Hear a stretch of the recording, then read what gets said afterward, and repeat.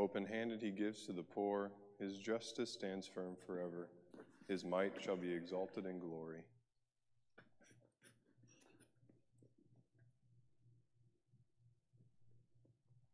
In the name of the Father, and of the Son, and of the Holy Spirit. Amen. The Lord be with you. And with your spirit. Brothers and sisters, let us acknowledge our sins and so prepare ourselves to celebrate the sacred mysteries.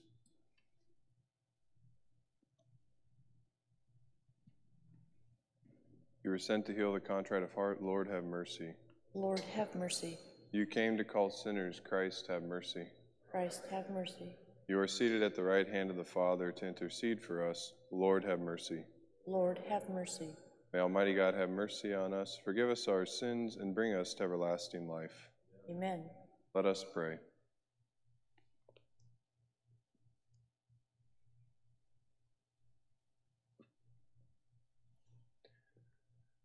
Grant your church, we pray, Almighty God, that she may have Saint Stephen of Hungary, who fostered her growth while a king on earth, as her glorious defender in heaven. Through our Lord Jesus Christ, your Son, who lives and reigns with you in the unity of the Holy Spirit, God, forever and ever. Amen.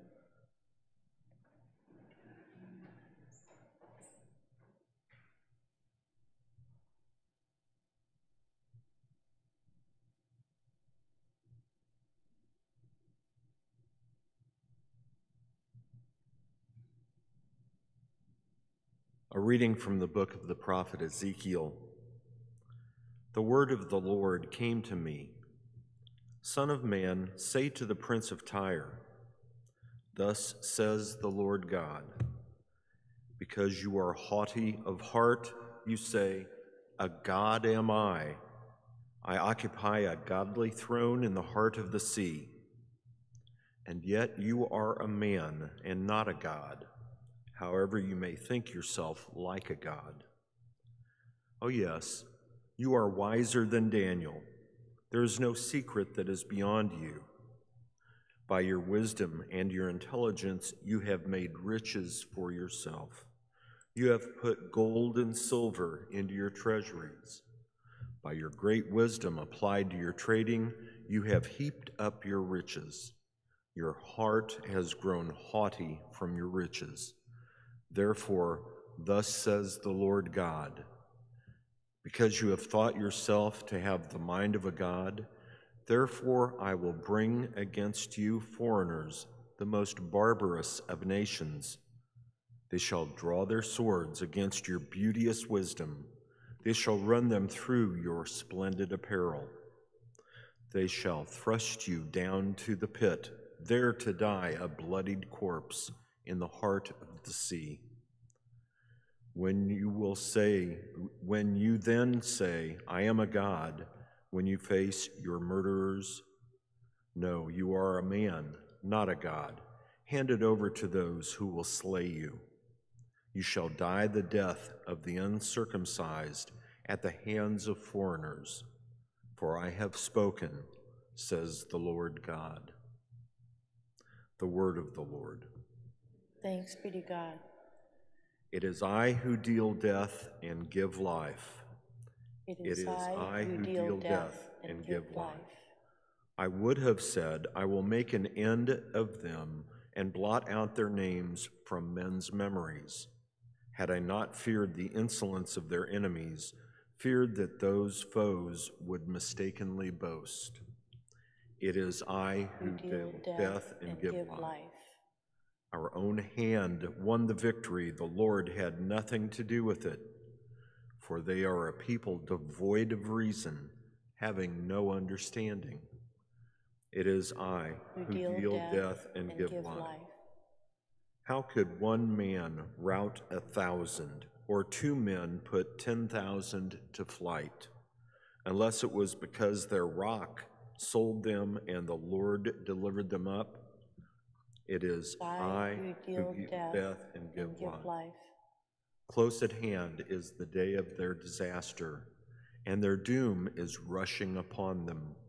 Surely the Lord shall do justice for his people. On his servants he shall have pity. It is I, I who, deal, death and, and, give life. life.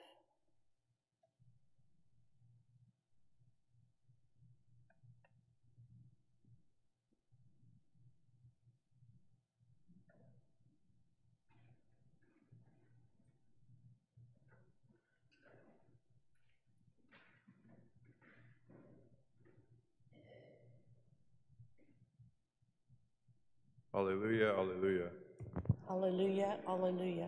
Jesus Christ became poor, although he was rich, so that by his poverty you might become rich. Alleluia, alleluia. The Lord be with you. And with your spirit. A reading from the Holy Gospel according to Matthew. Glory to you, O Lord. Jesus said to his disciples, Amen, I say to you, it will be hard for one who is rich to enter the kingdom of heaven. Again, I say to you, it is easier for a camel to pass through the eye of a needle than for one who is rich to enter the kingdom of God. When the disciples heard this, they were greatly astonished and said, Who then can be saved?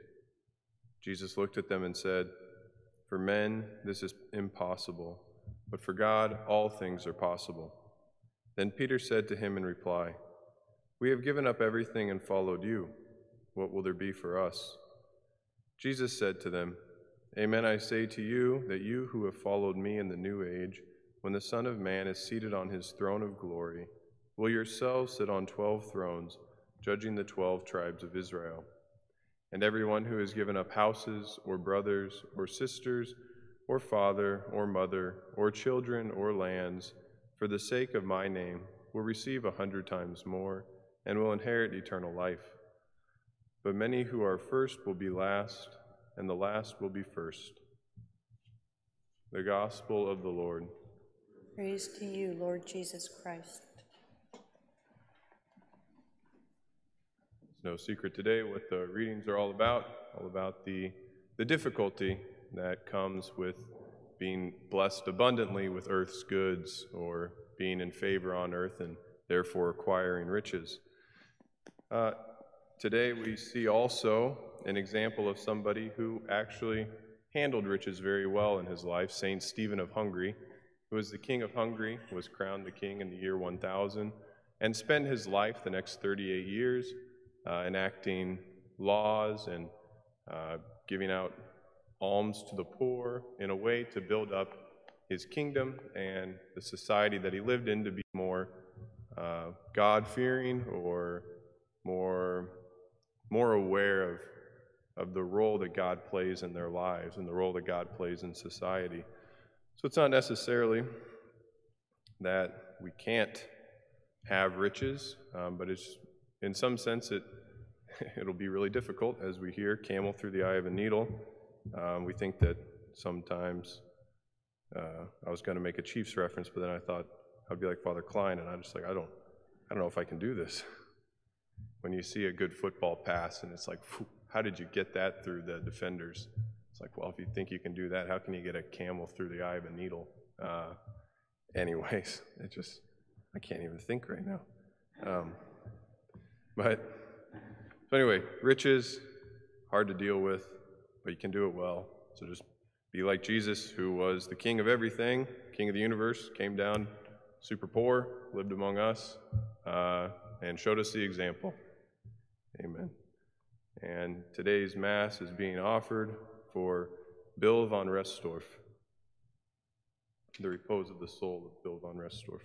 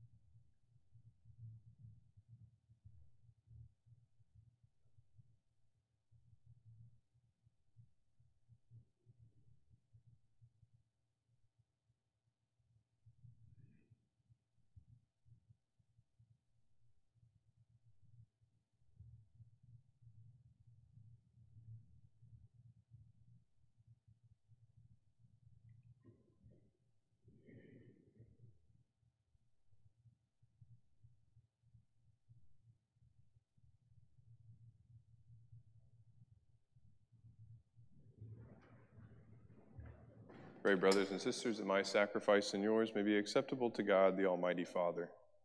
May the Lord accept the sacrifice at your hands for the praise and glory of his name, for our good and the good of all his holy church. Through the present oblation, O Lord, which we offer in commemoration of blessed Stephen, bestow on your faithful, we pray, the gifts of unity and peace. Through Christ our Lord. Amen.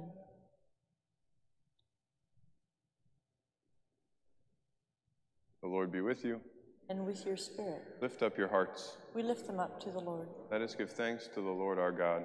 It is right and just.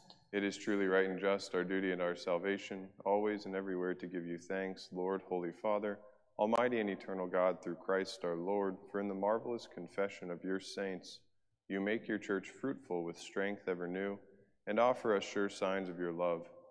And that your saving mysteries may be fulfilled, their great example lends us courage, their fervent prayers sustain us in all we do. And so, Lord, with all the angels and saints, we too give you thanks, as in exaltation we acclaim.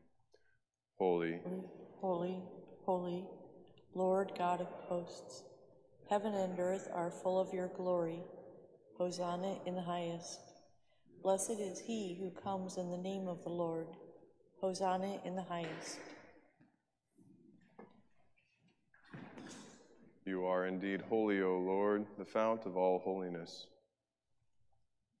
Make holy, therefore, these gifts, we pray, by sending down your Spirit upon them like the dewfall, so that they may become for us the body and blood of our Lord Jesus Christ.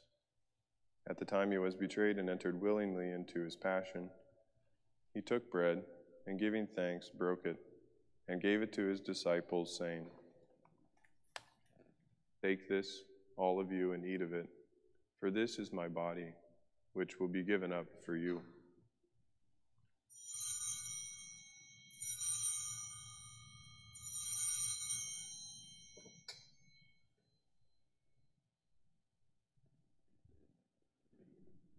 In a similar way, when supper was ended, he took the chalice, and once more giving thanks, he gave it to his disciples, saying, Take this, all of you, and drink from it, for this is the chalice of my blood, the blood of the new and eternal covenant, which will be poured out for you and for many for the forgiveness of sins.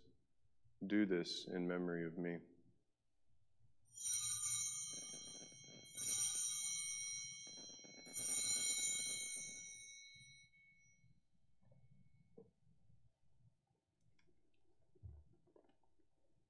The mystery of faith, save us, Savior, of the world, for by your cross and resurrection you have set us free. Therefore, as we celebrate the memorial of his death and resurrection, we offer you, Lord, the bread of life and the chalice of salvation, giving thanks that you have held us worthy to be in your presence and minister to you. Humbly we pray that partaking of the body and blood of Christ, we may be gathered into one by the Holy Spirit. Remember, Lord, your church spread throughout the world and bring her to the fullness of charity, together with Francis our Pope and James our Bishop and all the clergy. Remember also our brothers and sisters who have fallen asleep in the hope of the resurrection, and all who have died in your mercy. Welcome them into the light of your face. Have mercy on us all, we pray, that with the Blessed Virgin Mary, Mother of God, with Blessed Joseph, her spouse, with the blessed apostles, and all the saints who have pleased you throughout the ages, we may merit to be co heirs to eternal life, and may praise and glorify you through your Son, Jesus Christ.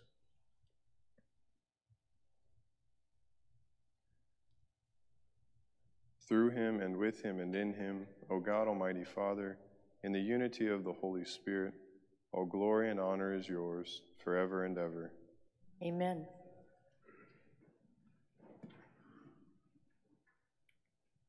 At the Savior's command, informed by divine teaching, we dare to say, Our Father, who art in heaven, hallowed be your name. Your kingdom come, your will be done, on earth as it is in heaven. Give us this day our daily bread, and forgive us our trespasses, as we forgive those who trespass against us. And lead us not into temptation, but deliver us from evil. Deliver us, Lord, we pray, from every evil. Graciously grant peace in our days, that by the help of your mercy we may be always free from sin and safe from all distress, as we await the blessed hope and the coming of our Savior, Jesus Christ. For the kingdom, the power, and the glory are yours, now and forever. Lord Jesus Christ, who said to your apostles, Peace I leave you, my peace I give you, look not on our sins, but on the faith of your church, and graciously grant her peace and unity in accordance with your will, who live and reign forever and ever. Amen. The peace of the Lord be with you always.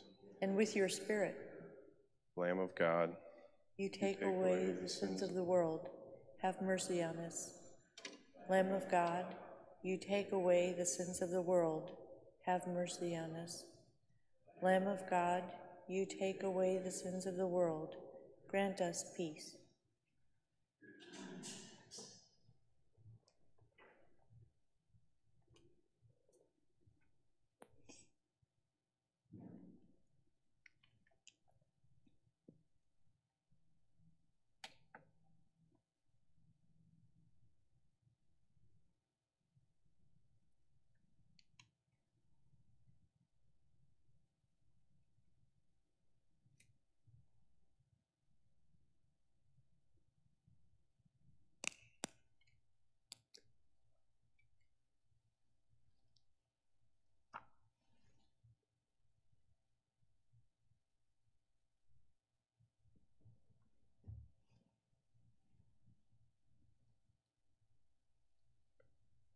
Behold the Lamb of God, behold him who takes away the sins of the world. Blessed are those called to the supper of the Lamb. Lord, Lord, I am not worthy that you should enter under my roof, but only say the word, and my soul shall be healed.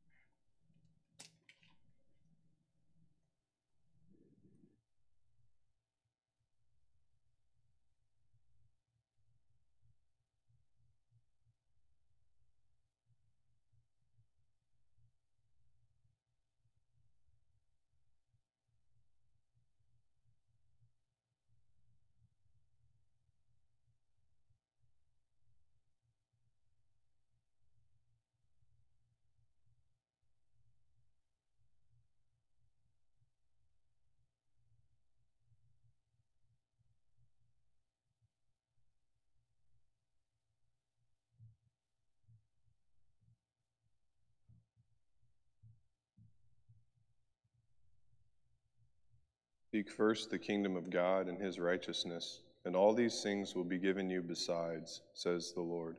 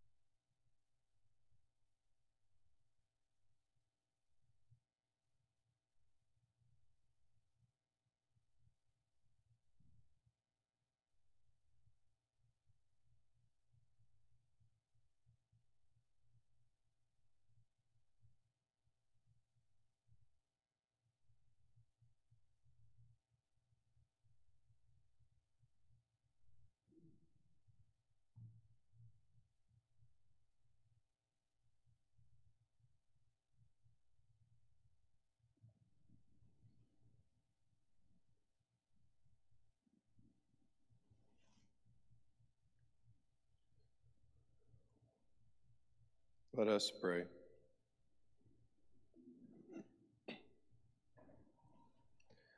May the sacrament we have received, O Lord, in commemoration of blessed Stephen, sanctify our minds and hearts that we may merit to be made sharers in the divine nature. Through Christ our Lord. Amen. The Lord be with you. And with your spirit. May Almighty God bless you, the Father, and the Son, and the Holy Spirit.